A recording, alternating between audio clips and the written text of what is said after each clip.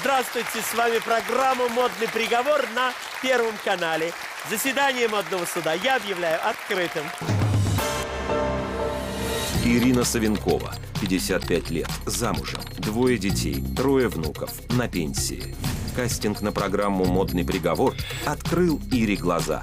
Муж, военный летчик, признался, любви давно уже нет, осталась только привычка.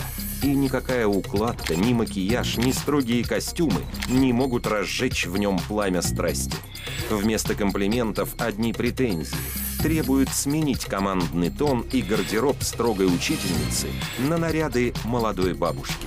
Ведь Ира в деловых костюмах и за хлебом, и к внукам, и на шашлыки обвиняется в непонимании.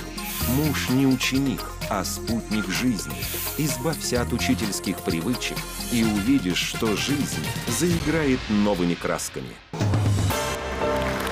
Сегодня мы слушаем дело о том, почему муж пионерку готов променять на пенсионерку. Евгений Савенков обвиняет свою супругу Ирину в том, что ее командирские наряды и командный тон – причина его переезда в другую комнату. Евгений, прошу вас, подойдите к трибуне. Перед нами сидит ухоженная, не по годам, молодая и красивая женщина. Вы уверены, что вы хотите ее переделать, может, будет хуже? Э, Мы живем 37 лет уже вместе. Любил, я терпел ее наряды. Сейчас уже не любовь, мне уже 60 лет.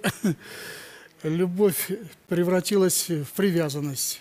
Ну, что я хочу сказать, что все свои годы она про- проработала в образовании. И это прекрасно. Она обучила тысячи людей. Это заслуга замечательная. А я обвиняю ее в том, что, выйдя на пенсию, она никак не может расстаться со своим рабочим деловым образом начальника управления одного из московских вузов. Она постоянно входит в своих деловых костюмах, появляется в этой одежде везде, как только можно. И я, меня это просто уже бесит. Я уверен, что вы тоже не подарок, между прочим. Вы так вот при всех говорите, жену не люблю, не хочу, живу в другой спальне с ней. Это что такое? Ну, может, благодаря вашей передаче Вы в думаете, ее что вы сердце проснется любовь, да? И нежность. Вам не обидно, Ирина? Очень обидно, Александр. Очень обидно. Конечно, я не согласна с его обвинениями. Я считаю, что женщина должна быть ухожена, это правильно. Женщина должна посещать косметолога. Женщина должна носить э, э, красивую одежду, может быть, даже и деловую. Женщина должна быть на каблуках, я к этому стремлюсь. Но его слова о том, что он меня не любит, Вот. ну, ну, ну, я не знаю, как это вообще можно пережить. Ирочка, встаньте, мы посмотрим на вашу красоту.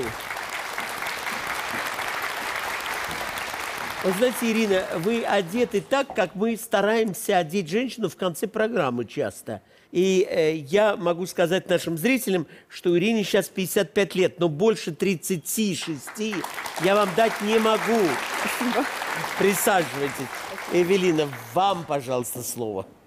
Я, честно сказать, не поверю, что такая разумная женщина, как ваша жена, обладающая хорошим вкусом, я это вижу, все это видят.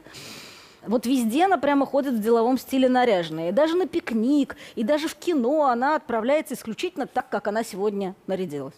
И в магазины продуктовые за хлебом тоже. Это И правильно. в детский сад, и в школу. И что, все в одном и том же? Да, да, да. Вот э, стоит, одевается, наводит макияж, э, в костюм свой строгий одевается. Я говорю, ты куда пошла?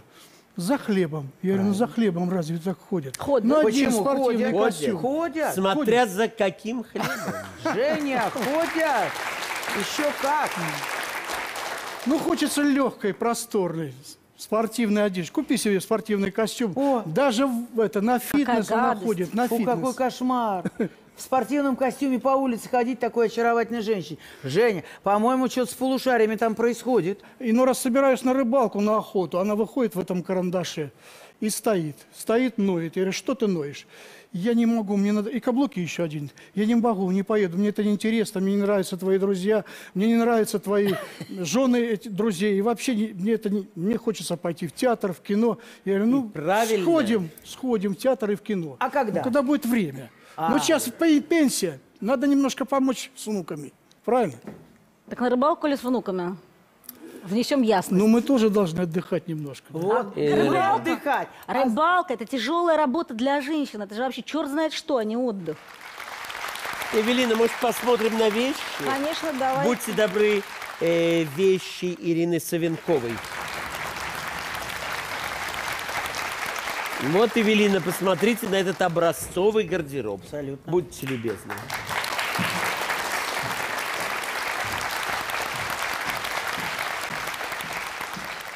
Но бывает периодически, что мужчина никак не справляется с той высокой планкой, которую ему задает женщина, в том числе и своим гардеробом, и стремится к чему-то простому, понимаете. Кому-то рядом с кем не, нужно все время напрягаться, все время застегивать последнюю пуговицу, надевать галстук, соответствовать этой высокой планке. А хочется спортивный костюм, кирзачи, удочки, рыбалку с мужиками, сало на газете. Это так романтично. Боже мой, дорогие мужчины, которые всегда окружали меня в жизни, спасибо вам за то, что я ни разу не получила от вас приглашение отправиться на рыбалку в качестве развлечения. Ой, Фактически идеальные жакеты нашей героини э, на самом деле могут вызвать э, серьезную зависть у многих наших телезрительниц. А мужу это не нравится. Ему хочется треников с вытянутыми коленками, понимаете, да? То есть отсюда вывод. Если все время кормить, к примеру, одним и тем же блюдом высокой французской гастрономии, то обязательно потянет на сал на газете. Просто вот как пить дать. Что на этой вешалке вы не любите больше всего? Больше всего костюм не нравится. Вот этот вот костюм, я так понимаю, да, вот Ужасный подготовили. костюм. Вот этот ужасный Ужасный. костюм вам не нравится. Будьте добры, переоденьте, пожалуйста, в ужасный костюм, мы посмотрим. Прошу вас. какая шикарная женщина. Дисциплинирует постоянно, постоянно на меня строит, напрягает, воспитывает. Что меня воспитали уже родители, армия воспитала, работа воспитала. Я уже знаю, как вести. Мне мальчику уже 60 лет на следующий год. Ну, как-то надо все это покладисто, по-доброму вести. И Вы же немножко- летчик-испытатель, кажется. Нет, инструктор. Сколько у вас полетов э, за плечами? Ну, полетов немного, 2000. У меня ни одного. Ой, ошибаюсь, 2000 на лед, а полетов около 7 тысяч. Ну вот. как. Один, правда, полет у меня был без посадки. Пришлось взлететь и покинуть самолет. Ну, реанимировать не удалось. Я лег в госпиталь, она даже не пришла ко мне в госпиталь, хотя поставила ребенка теще. А теща прибежала сразу. Ой, как там наш зятек, жив, Вот, здоров, вот, не пора ли нам отчаливать? А почему вы думаете, она не пришла? От чего она так? Но она сказала, что она была занята. Хотя после аварии я э, приказал, чтобы автобус заехал домой. Я зашел, показался, в чем я есть, вот, в командировании, в комбезе. И пусть она спокойно кормит ребенка, чтобы не пропало молоко, тогда ведите в госпиталь. Только на таких условиях я со- со- сыграл- согла- согласился ехать в госпиталь, и потом дальше Москва, три месяца. Ну, потом Чтобы ее вос- успокоить. Короче, Женя, обидка есть внутри, правда Есть, же? есть, А есть. по- Если так, есть. Сколько лет назад счету. это случилось? Это было, сейчас скажу, в 87 году, 2 марта.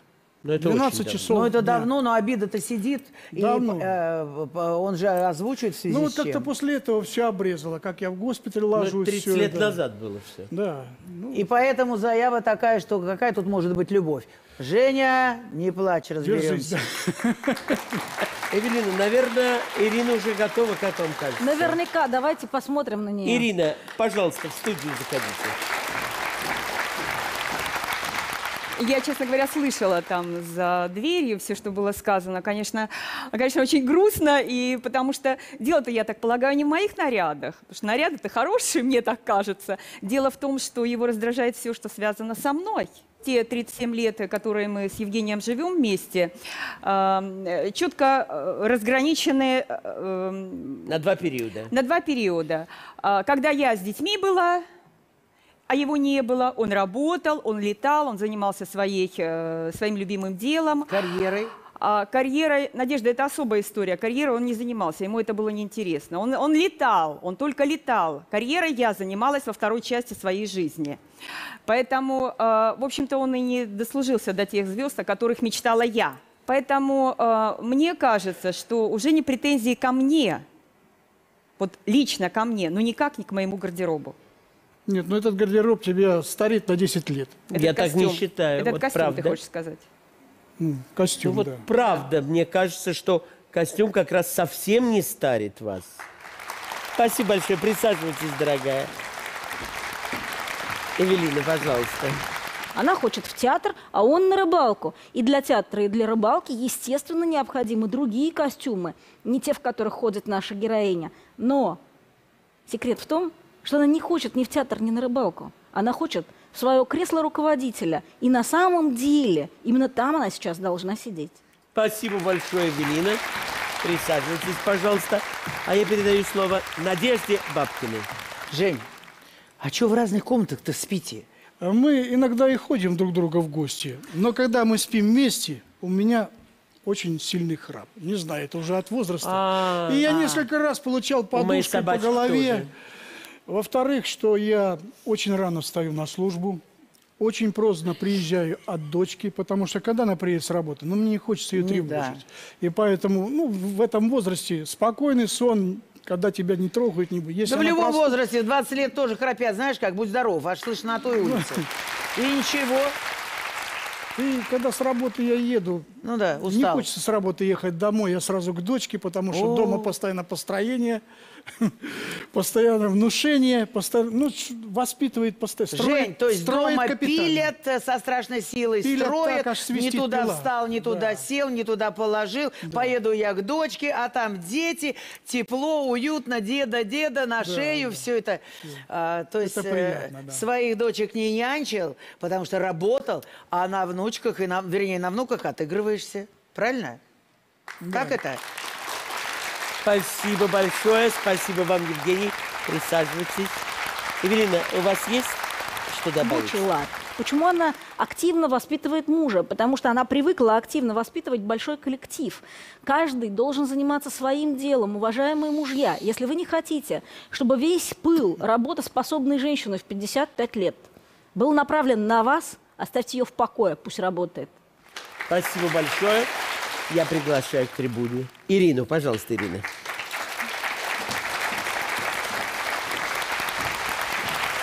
В вашем деле указано, что вы пытались развестись со своим мужем целых восемь раз. Это Ой. так? Да, это так, Александр. Ну, шесть раз это было, э, можно сказать так, сгоряча, а два раза, да, официально оплатили пошлину, отнесли документы, продыроколили документы. Это уже просто какой-то таким-то анекдотом становится, когда мы э, после бурного примирения идем забирать, идем забирать документы в очередной раз. Но это уже как-то смешно и нелепо. Да, к сожалению, это имело место быть. А кто инициировал это, вы или муж? А а по-разному случается. Иногда терпение заканчивается у меня, и я инициирую этот процесс. Иногда он мне в отместку, когда ему надоедает Так э, они жили. процесс. Да. Спали врозь, а дети были. Итак, слово Надежде Бабкиной. Ира, вот э, мы сейчас услышали э, Женины претензии, да? Ну, ну, всякое, в каждой семье есть какие-то варианты. А у тебя-то какие к нему претензии? Ты, ты недовольна, что он работал-работал, а карьерный рост не произошел, ничего не добился собственно в жизни. И поэтому тебя это тоже как-то э, не устраивает, раздражает? Так что ли? Ничего. Да, Надежда Георгиевна. Семь тысяч полетов, ничего не добился. Да, Саш, ну, да, совершенно верно, да, хороший вопрос. А, она дело- погонов генеральских ждала, а ты говоришь 7 тысяч полетов. Да. Пусть лучше да, 3 тысячи, да, но зато с генеральским погоном. Я права? Именно так. Ну и все. Да, да, да. Я очень долго э, тянула и гнала его в академию. У меня папа закончил академию, у нас военная династия. Мне, мне очень хотелось, чтобы дети жили в Москве, чтобы папа учился в академии, чтобы дети были этим горды. Не получилось, не смогла. А, э, долгое время было так, что он занимался только полетами, только своей работой, дети были на мне. А, папа, а, э, если приходил отдыхать, приезжал отдыхать с работы из командировок, у папы были друзья и были рыбалки. Папа, это имеешь в виду Женю? Папа это в смысле А, Женя, да. понятно. Все. то есть э, совместного времяпровождения никогда не было. Я с детьми, он, Он отдельно он отдыхает. отдельно, да, с друзьями, с рыбалкой. А не было еще. никогда вот такого где-то закра- закрадывалось подозрение, что баба какая-нибудь на стороне есть там? Да не только были, Надежда Георгиевна, Да. конкретные данные были. Ой-ой-ой. А, Он в очередной командировке, а мне солдатик э, Ага. из части приносит письмо. А, Открываю письмо, читаю. Дорогой, с нетерпением жду встречи. А, Остались там считанные дни. Думаю, опа, красиво. Бабенка какая-то есть. А глянь, покраснел-то как Женя. А вот. А, а. Давление сразу ударило в голову. Саша, А им раз в год, летчики раз в год ездят в профилакторий в горячее время а, в августе Да. в Адлер, и уже не, несколько раз э, этот процесс уже имел место. Не нужна профилактика, я согласен. Я понимаю. И э, все летчики всегда берут своих жен, детей. Меня муж Да. никогда не брал. Думаю, ну интересно, конечно, как-то. Находила миллион оправданий, и тут после того, как это письмо получила, думаю, ну нет, надо эту ситуацию А брать письмо, а, Ира, на свои твое руки. имя было или на на его? его имя, на его имя, А. да, я женским почерком. Ну, рассказывай мне сказки, Ага. да. А, Просто потом продолжение этой истории было. А, И э, я решила с ним вместе поехать в Адлер. Сама, его не, не поставив в известность, Ага. да. То есть он с одной стороны части приходит э, к КПП, а я с ребенком, с вещами с другой. другой стороны. Он видит нас, он растерялся, но народу много, и он не посмел при всех устроить скандал, и мы полетели вместе. Вместе с женами, с детьми, с летчиками, все полетели мы в этом самолете в Адлер. Прилетаем. Так там заведено, что жены с детьми живут, снимают квартиры, мужчины живут в профилактории, завтрак, обед, ужин, их кормят. Думаю, ну нет, тут надо все четко отследить. И я говорю, знаешь, что-то неважно себя чувствую, давай мы квартиру снимем вместе, побудем втроем. То есть я, мы снимаем квартиру, мы живем вместе, а на завтрак, на обед и на ужин я его вожу, Сама. сопровождаю в профилакторий. Правильно. В результате Нет ли там какой медсестры? ни, ни на минуту он у меня из, из поля зрения не выпал. Приезжаем мы домой, все хорошо, все замечательно. Через некоторое время приходит письмо с тем, от, от той же дамы, тем же почерком. Все понятно. Видела, говорит, дорогой, тебя с твоими Герой. Ну, подойти не смогла, она тебя блюла. Ой-ой-ой. Вот, ну, как-то так. Жень, ну что это такое вообще? Ну, провис, ну что ж, дети, как- только не помню, когда. Ну, ну провис, ну хорошо, хоть признался. Нет, плохо, что Но все признался. было... Так я про это, и Это говорю. было письмо, которое было отправлено другим адресатом и в другой дом. Это ошибка почтальона. Да, конечно. Оно не да, было для вашего мужа. Так точно, да. Продолжение этой непростой истории совсем скоро, а также впереди модные советы. Сегодня мы с вами вспомним традиционные зимние развлечения катание на коньках и докажем, что на катке можно выглядеть стильно и при этом не замерзнуть. Не пропустите, будьте с нами.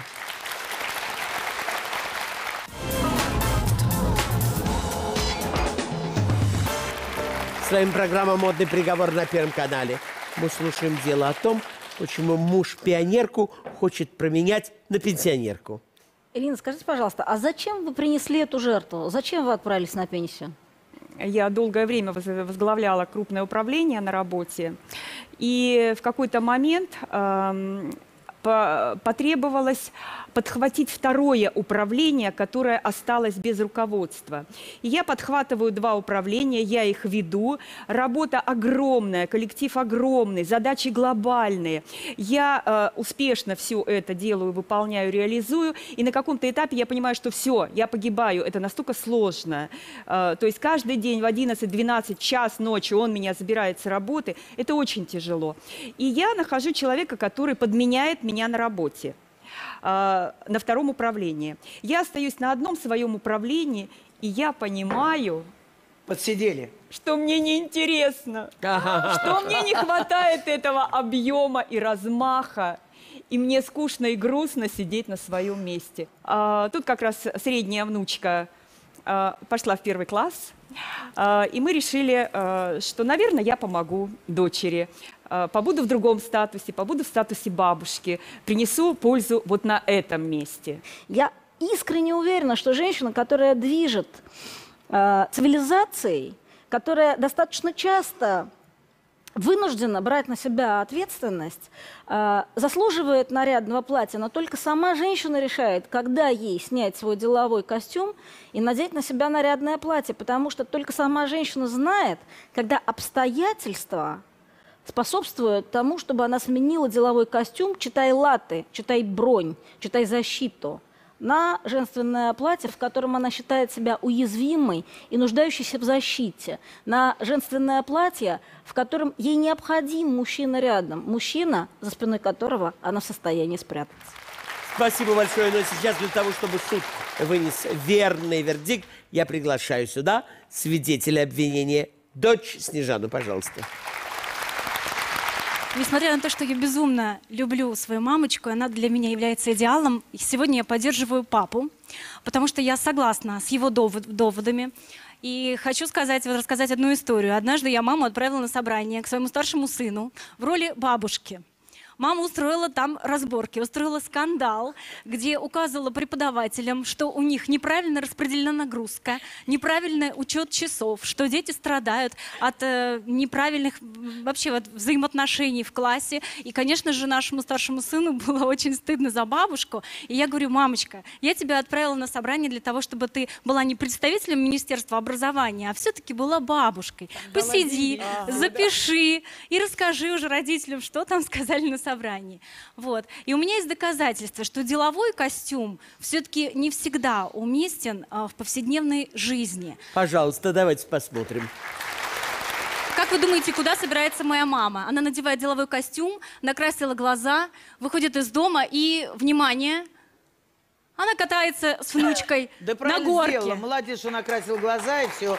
Но это же совершенно неудобно. Посмотрите, это, это каблуки, да, это Ей юбка очень короля. удобно. А ей удобно. Она выглядит Она элегантно и тормозит, смотрите, как хорошо. Каблуками тормозит. Каблуки Ну, мне кажется, что в этой Молодец. ситуации это совершенно неуместно. И здесь уже уместно была бы какая-нибудь удобная А. одежда, в которой удобно бегать за внучкой. Спасибо, Снежана, вы нас не убедили. Знаете, опасно останавливать бабушку, которая готова заработать на няню для внучки, и предлагать ей снять каблуки. Бабушка не согласится, потому что она знает, сошла с каблуков, сошла с дистанции. Точно. Спасибо большое. Папеньку-то защищают, это все понятно. А кто тебя вырастил? А кто тебя кормил? Да. А кто в школу, так сказать, налаживал? Конечно, мама. А насчет родительского собрания, дорогая моя, ну сама сходи. Это ж твой ребенок, понимаешь? И свое пойти, защитить своего ребенка или наоборот сказать, что я хочу послушать, как мой ребенок. Потому что мама, она сначала внутри, она до сих пор никогда не откажется. Руководителей бывших не бывает. Я тоже считаю, что это была нелогичная идея отправлять такого типа бабушку на родительское собрание. Странно, что школа впоследствии не имела проблем в РАНО и ГРАНО. Еще, может быть, даже и в Министерстве образования. Вот именно поэтому с самого первого класса и до последнего я делегировала на родительские собрания э, бабушку своего сына, руководителя значительно более высокого уровня, чем я. Спасибо большое, Эвелина. А в нашей программе настало время модных советов.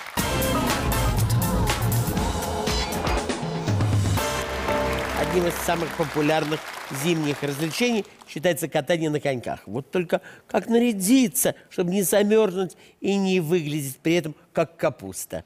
Узнаем об этом прямо сейчас. Модели, прошу вас на подиум.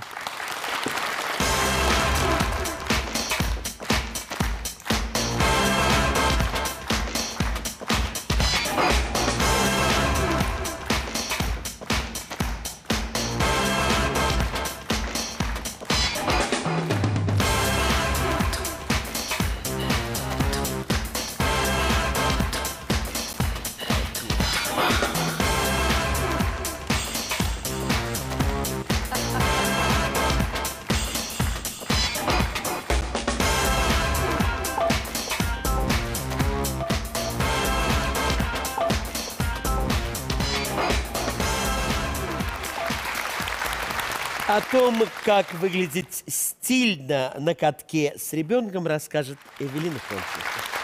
Здесь я прежде всего должна подчеркнуть один очень важный момент. Наши стилисты адекватны, и они в курсе того, что существует одежда для открытых катков, и знают о том, какой должна быть одежда для катков закрытых. Сейчас мы, конечно, говорим об одежде для закрытых катков, которых сейчас огромное количество, и на которые все-таки предпочитают вводить своих маленьких детей и внуков те женщины, которые волнуются, как бы дети не простудились и не пропустили часы в школе или не пропустили детский сад.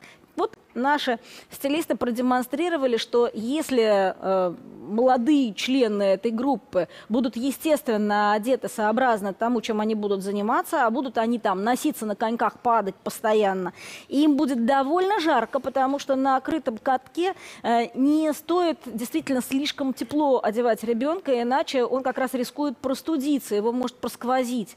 Если вы будете использовать там горнолыжный комбинезон, термобелье, шерстяные носки и все прочие прелести дворового катка, то, конечно, ребенок будет и чувствовать себя не слишком ловко, и ему будет достаточно жарко. Поэтому тот вариант костюма, который вы сейчас видите для катания на коньках, очень адекватен именно для крытой площадки. Девочка, разумеется, будет стараться демонстрировать из себя Белоснежку, Снегурочку, ну или какую-нибудь знаменитую Золушку. фигуристку, вроде Татьяны Навки, у каждого свой герой. Поэтому, естественно, не мешайте ей выглядеть адекватно, выбранные роли. Конечно, там должна быть юбка в звездах и белые колготки, лед не пачкает, знаете ли.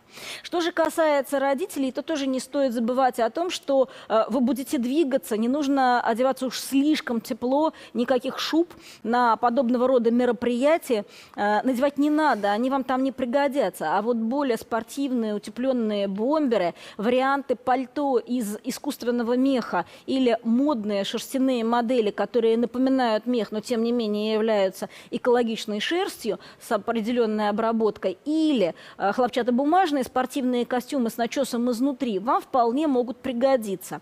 Потом, не забудьте, вам, конечно, захочется есть. И в том же самом виде, только сняв коньки, вам э, придется отправиться в кафе. Там вы тоже должны выглядеть адекватно. Соответственно, с этим и ботинки, которые напоминают горнолыжные, но на самом деле таковыми не являются, и разнообразные сникерсы утепленные вам очень помогут. Но огромные луноходы, теплые валенки будут для вас, конечно, излишеством и будут вас смущать.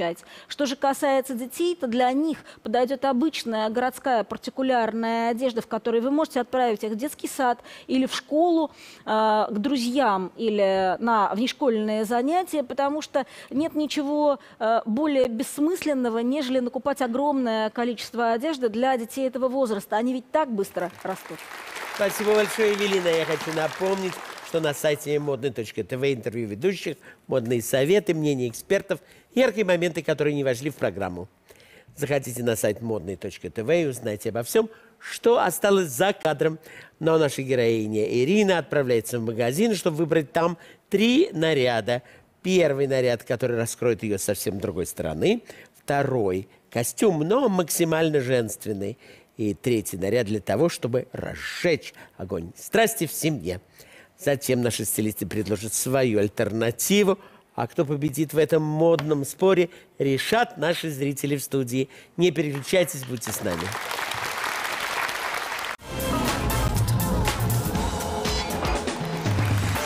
С вами программа «Модный приговор» на Первом канале. Слушается дело о том, почему муж пионерку готов променять на пенсионерку. Ирина Савенкова сходила в магазин, и давайте посмотрим на ее первый наряд, в котором она должна раскрыться пред нами в совершенно другом образе, с другой стороны. Итак, Ирина, на подиум.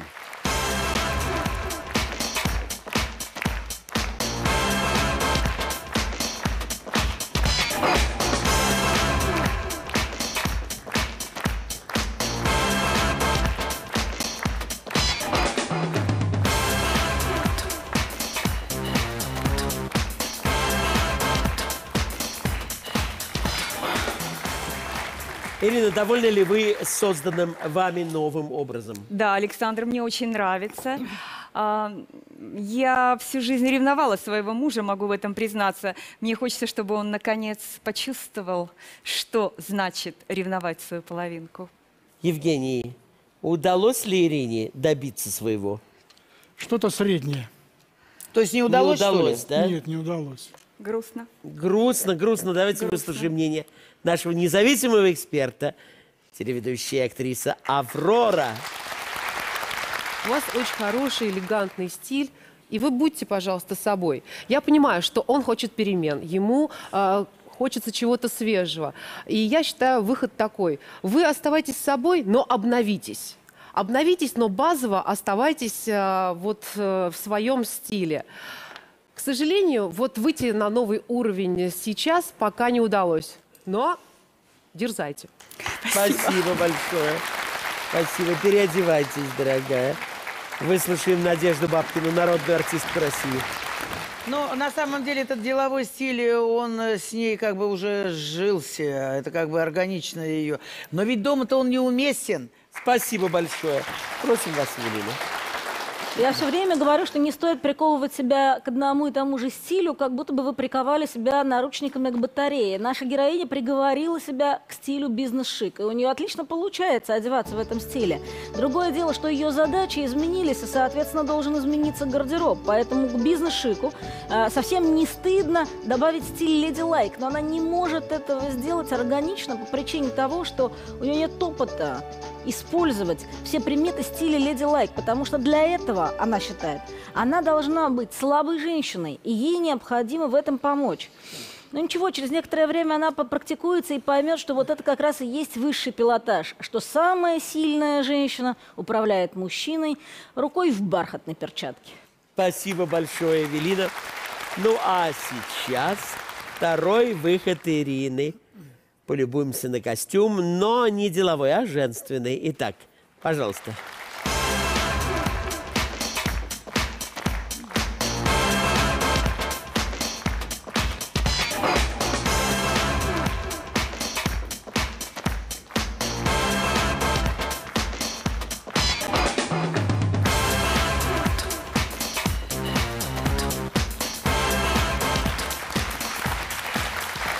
Ирочка, как вам самой этот образ?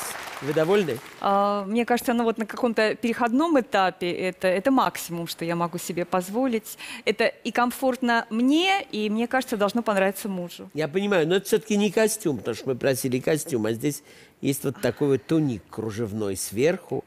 Но вы молодец, вы стараетесь. А давайте спросим супруга, добился ли сейчас Ну, сейчас Ваш намного теплее, теплее, и да? комфортнее я чувствую, да. уже приятнее смотреть, да? Да. Свобода. Что скажет Аврора?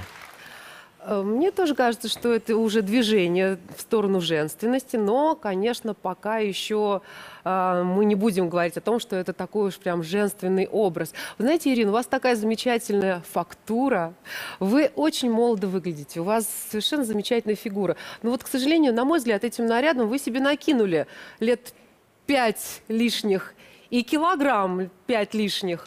Мне кажется, что вам нужно все-таки попробовать поэкспериментировать с силуэтами и принтами. Спасибо большое. Переодевайтесь, дорогая.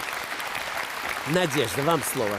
Жене понравилось, что а он в этом увидел некую вечернюю историю. Длинная в пол, как будто бы юбка, широкие брюки, да? И вот вам, пожалуйста, некие так гипюр, розочки, то все, вот какой-то намек. Уже говорит лучше. То есть она должна прослушать и что-то подумать как бы в этом направлении.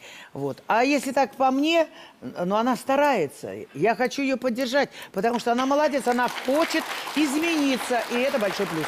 Спасибо большое. Евелина, вам слово. А вот знаете, забавно, у меня есть отчетливое ощущение того, почему именно Евгению нравится именно этот образ.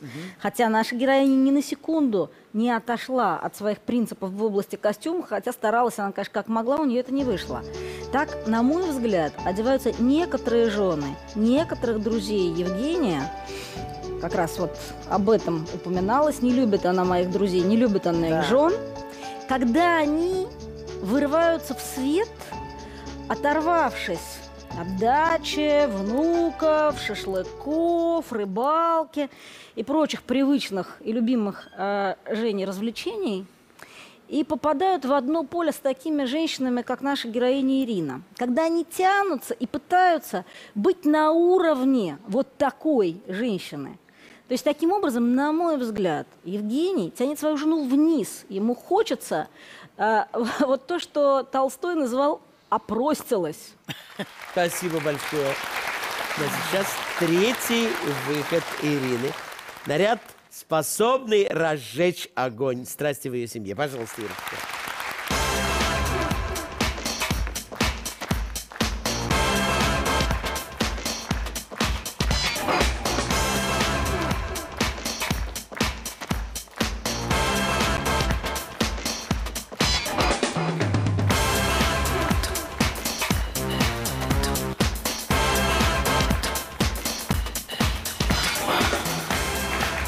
Ирочка, расскажите. Ну, вот после 37 лет совместной жизни уже просто такой комок в горле. Жене так смешно разводиться 8 раз. Ну, давай уже, наверное, как-то начнем наши отношения Моя хорошая, да с что ж ты чистого лица. И, ну, мне очень хочется, чтобы этот наряд ну, зажег тебя в конце концов, потому что я тебя очень люблю. Вот. Это красиво. А Женя что ответит? Эффектно, элегантно, мне понравилось. Понравилось ему. Не знаю, как Женя, но все модницы страны сейчас встрепенулись. Все тенденции у вас здесь есть. Спасибо. Черный бархат, водолазка, надетая под платье-комбинацию. Все очень актуально, все очень модно. Ну, мне кажется, что обувь все-таки не совсем та. Может быть, сникерсы, грубые ботинки или мюли могли бы подойти сюда больше. Но в общем, в общем, мне кажется, что вы на правильном пути. Вы а, сейчас выглядите очень свежо, очень молодо, а, как-то по-другому. Мне кажется, что Женя должен это оценить. Спасибо большое. Но сейчас выслушаем мнение Надежды Бабкиной. Да, Сашенька, я хочу, Ирочка, я тебя хочу поддержать, потому что ты все сделала, что ты могла, ты старалась и стараешься. И это признание, конечно, это высший пилотаж. И э, Женя тебе откликнулся. Но я тебе скажу, у тебя такой разрез сбоку сексуальный. Он не мог не заметить этого. Давай, зажги как следует. Спасибо. Спасибо большое. Эвелина, пожалуйста. Вашему мужу не понравился этот костюм, я вам честно скажу. Он отреагировал на а, ваше женственное поведение, на то, каким образом вы обратились к нему. И при этом вы подсознательно на самом деле знаете, что нужно ему, что ему понравится. Потому что та обувь, которая абсолютно не подходит к а, вашему нынешнему костюму, верно подобранному в тенденциях сезона, все нормально, с ботинками в обувь. а, Она обувь вот эта вот, именно эти туфли, именно этот фасон, залог того гардеробного счастья, которое сделает вашего супруга действительно абсолютно довольным. А сейчас вам просто нужно э, переодеться в то, что вам по статусу, по возрасту и, главное, по вкусу вашему мужу. И тогда он вам простит даже комбинацию с грубыми ботинками, просто не заметит. Спасибо большое, Эвелина. Настало время отправить Ирочку волшебную комнату к нашим стилистам. Вступайте туда, меняйтесь, преображайтесь, радуйте всех. Что придумают стилисты для Ирины, увидим буквально через несколько минут. Будьте всегда только с нами. Просим вас не переключаться.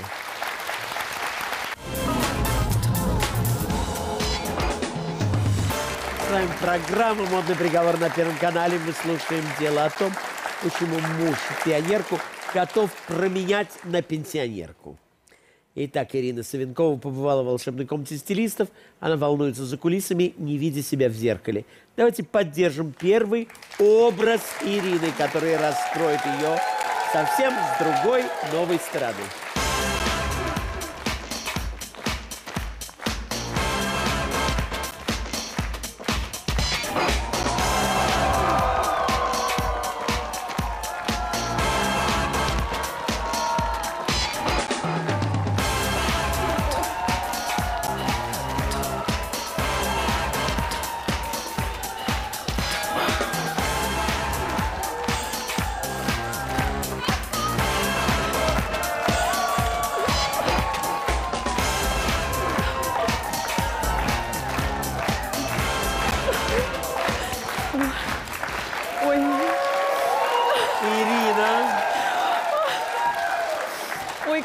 Красиво, это, это, это необыкновенно, это настоящая зимняя сказка. Но это такой восторг, что просто невозможно было это все представить Это себе. правда.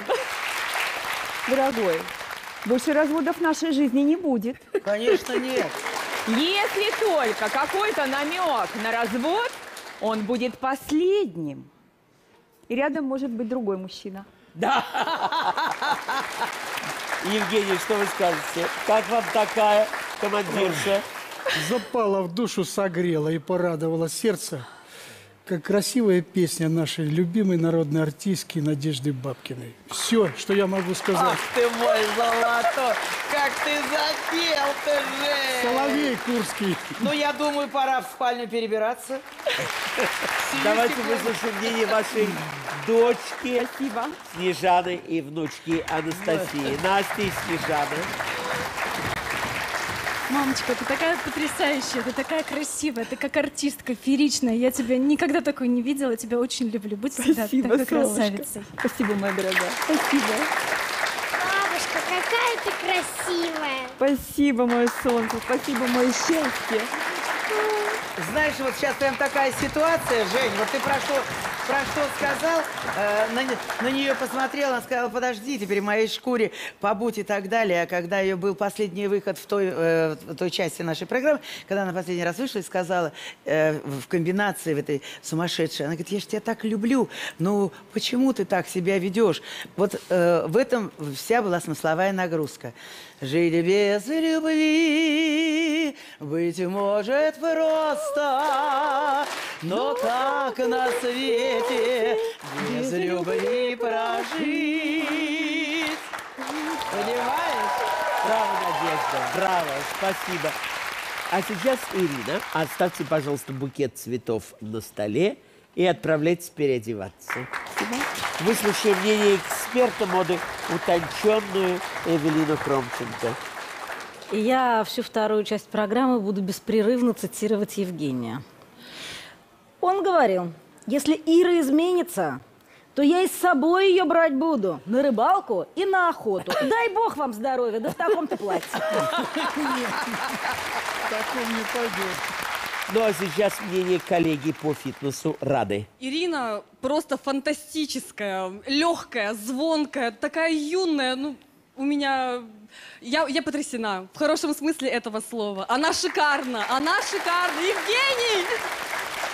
Ну а сейчас второй выход Ирины. Костюм не деловой, но женственный. Посмотрим.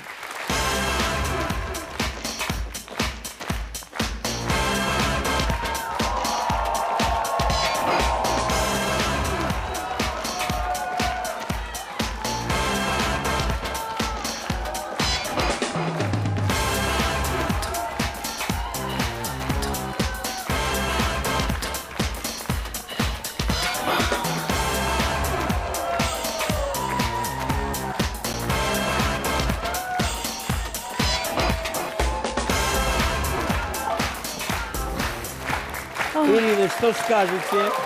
Очень красиво, очень. Вот, не знаю, мне кажется, стилисты прочувствовали вот все мои настроения, все мои ощущения. И я, я очень счастлива, что я приближаюсь к Эвелине, к моему кумиру. Мне это очень нравится, дорогой. А, интрига закручивается. Спасибо. А что скажет Евгений, муж? Интрига закручивается? Ох, эффектно раскрыта красота Ирины. Вы знаете, она мне напоминает мою любимую артистку кино Надежду Гурч- Гурченко. Людмилу, Людмилу Гурченко. Гурченко. Да, Людмила Гурчен- Гурченко. Про меня думает, сидит. Да, Давайте выслушаем мнение еще одной коллеги по фитнесу. Татьяны, пожалуйста. Ирина. Ты красотка, просто звезда, да, наша звезда. Мы так за тебя горды.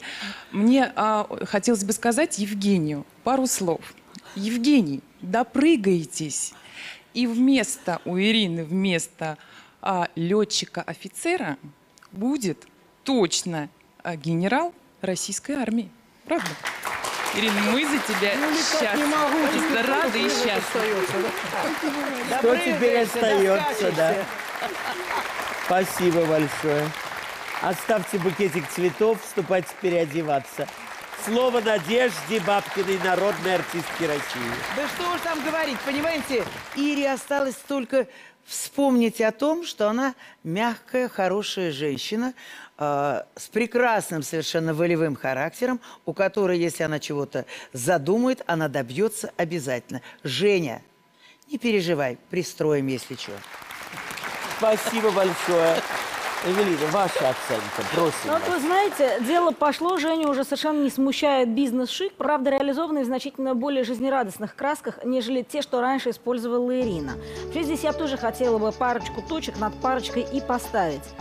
Красной нитью проходит через все материалы дела жалобы Евгения на то, что жена не понимает его шуток. Теперь вот женщины насторожились. Зачитываю шутку Евгения, коронную так вот.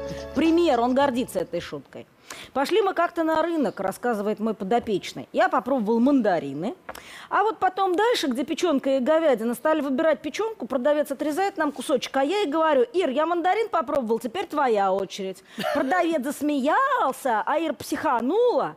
Это я к тому, что она никогда не может расслабиться, цитирую я Евгения. Она всегда держит себя в рамках, которые сама себе придумала. А здесь я поставлю точку и замечу, что Надежда Бабкина, которая вас так любит, в этой ситуации вынула бы свое фирменное весло. Это точно. Спасибо большое. А теперь третий выход Ирины. Посмотрим, как видят стилисты наряд, который способен разжечь огонь страсти в этой семье.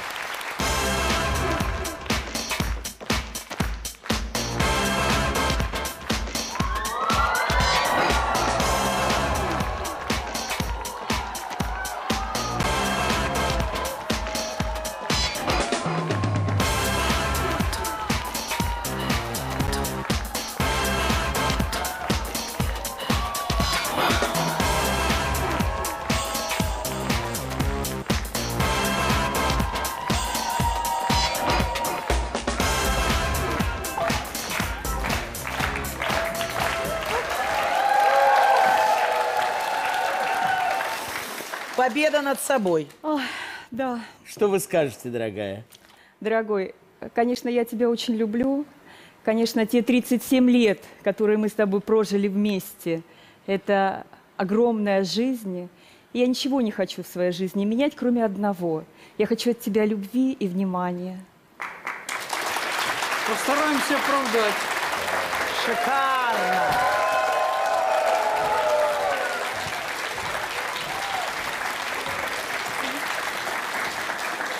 Конечно, этот шедевр даст толчок в наших отношениях. Я постараюсь. Да оно так и будет. Уже она пробуждается любовь в моем сердце, а у тебя покладистый и добрый характер. Все будет хорошо. Спасибо. Ну скажи, хоть любишь?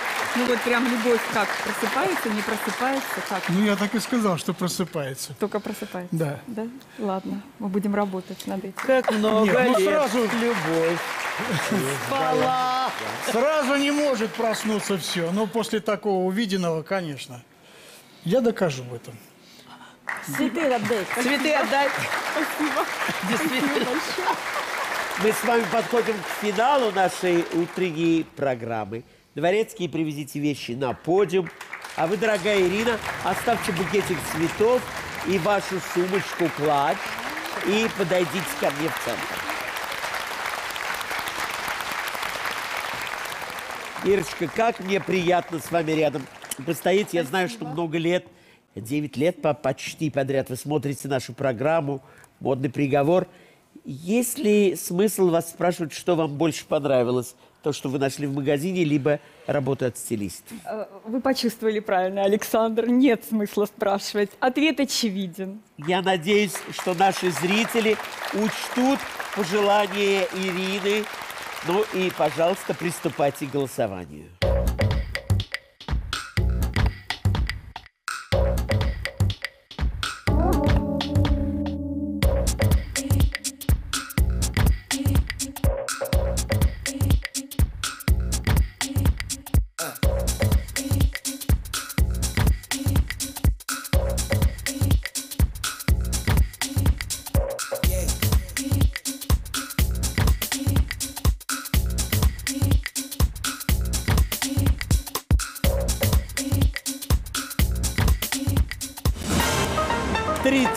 32% в пользу Ирины, 68% в пользу стилистов.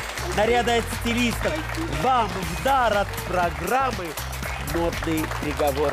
Ну что ж, а если вы, точно так же, как педагог Ирина Савенкова, родом из Краснодарского края, захотите стать участником модного суда, поскорее заполняйте анкету на сайте Первого канала moda.1tv.ru Сегодняшнее заседание закрыто, а мы с вами, как всегда, увидимся вновь очень скоро.